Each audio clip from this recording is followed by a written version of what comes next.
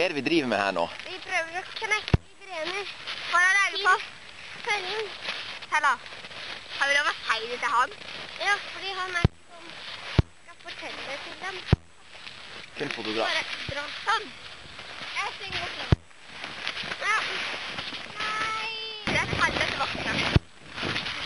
Og så vi må begynne å knekke. Ikke lov å snakke. Det er ingenting å slå på. Nei, litt, litt, litt. Vi må ha litt mer her. Gi meg en. Eller? Legg det på.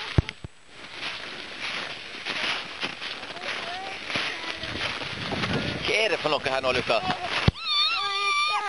Hva? Er det liksom meninga å dette i Ja. De voksne skal trå siden de er så tunge. OK.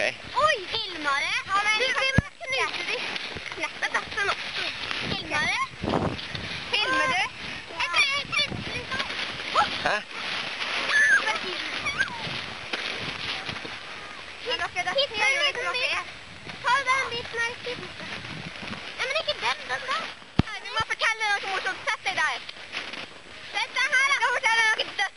Jag är Frida. Tycker du är?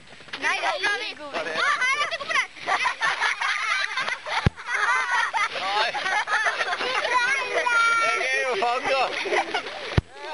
ju.